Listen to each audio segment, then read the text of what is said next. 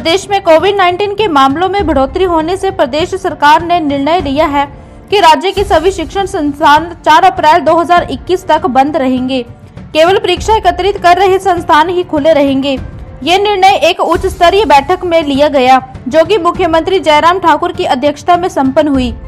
मुख्यमंत्री ने कहा कि जिन स्कूलों के पास आवासीय सुविधाएँ उपलब्ध है उन्हें अपने छात्रावास बंद करने की आवश्यकता नहीं है। लेकिन आवासीय छात्रावासों में कोविड 19 का संक्रमण रोकने के लिए सभी मानक संचालन प्रक्रियाओं का पालन करना होगा। इन आदेशों की अनुपालना सुनिश्चित बनाने के लिए एक अनुपालना अधिकारी की नियुक्ति भी करनी होगी। उन्होंने कहा कि अध्यापकों सहित महाविद्यालय और स्कूलों का स्टाफ नियमित रूप अपने संस्थानों में आना जारी रखेगा।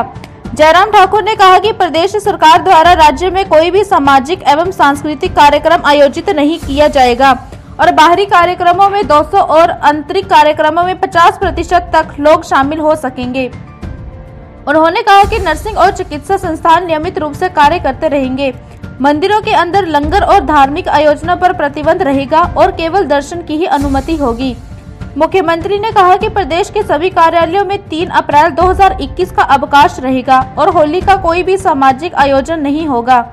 उन्होंने लोगों से घर पर रहकर परिवार के सदस्यों के साथ होली मनाने का आग्रह किया।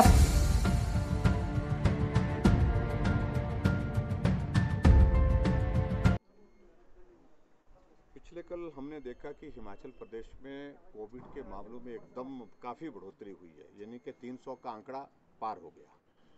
और हम जब, इस सारी चीज़ को जब देख रहे थे कि पिछली बार जब कोविड आया था आंकड़ा धीरे धीरे बढ़ा था।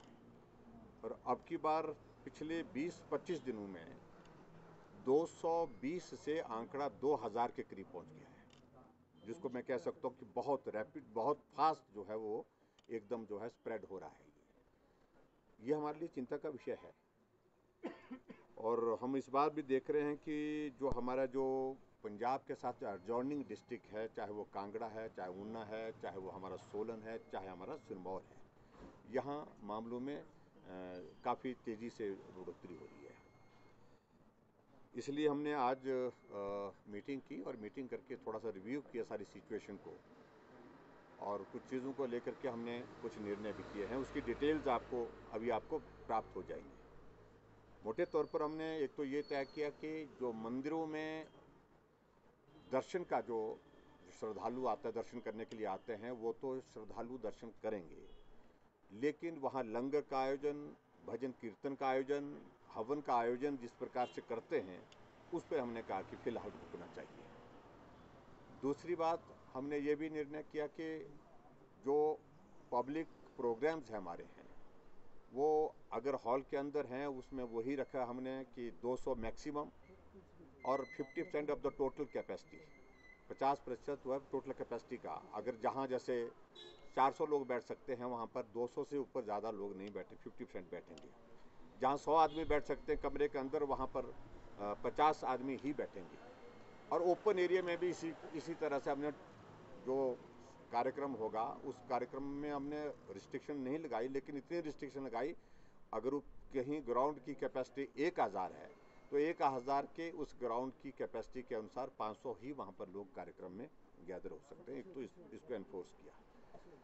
इसके अतिरिक्त तो हमने कॉन्टैक्ट ट्रेसिंग पर थोड़ा ज़्यादा बल देने के लिए कहा है टेस्टिंग का सैंपल और ज़्यादा तेज़ी से बढ़ाने के लिए कहा है।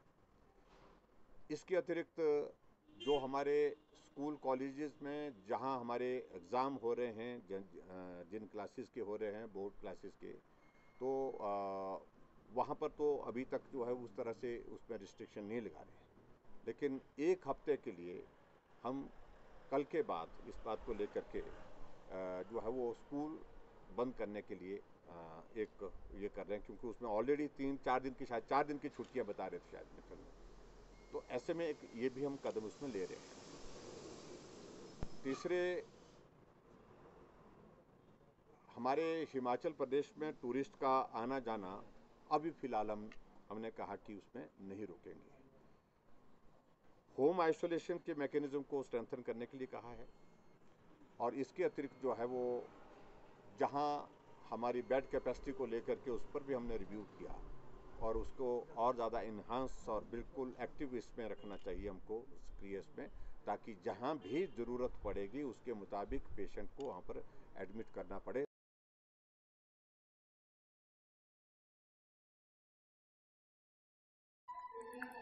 हिमाचल प्लस न्यूज़ चैनल के लिए शिमला से टीकाराम शर्मा की रिपोर्ट।